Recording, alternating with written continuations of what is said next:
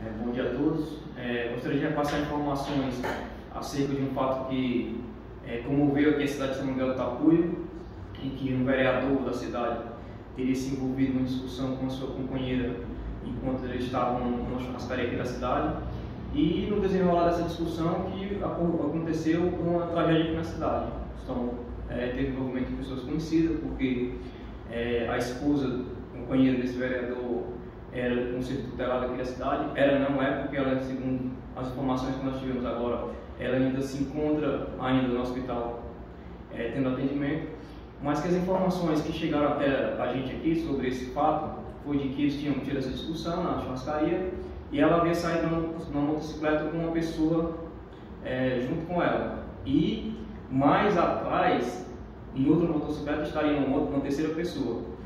Quando eles saíram da churrascaria, foram perseguidas, é, é, segundo informações, foram perseguidas pela pessoa de, de, de Netinho, né? Que foi o, a pessoa que veio a, a, a óbito já na, na, madrugada, né? Foram perseguidas por Netinho. E é, a, a, companheira dele, Maria Rita, né, ia mais à frente em uma motocicleta e uma outra, a terceira pessoa ia numa motocicleta já um pouco atrás.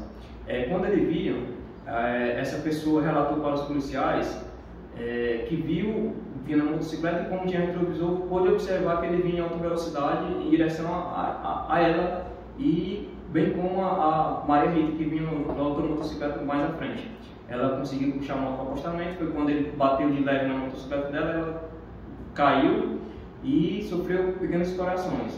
Contudo, é, é, é, Maria Rita, com a outra pessoa que vinha com ela na, segunda motocicleta, não tinha retrovisor, não conseguiu observar que ele vinha logo atrás, de forma já é, é, para passar por, sobre a moto pilotada por uma delas.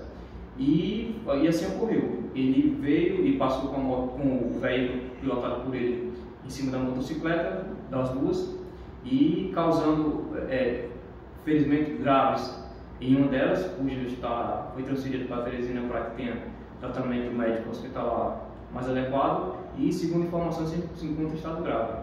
E diante disso, ele é, fugiu do local do, dos fatos, né?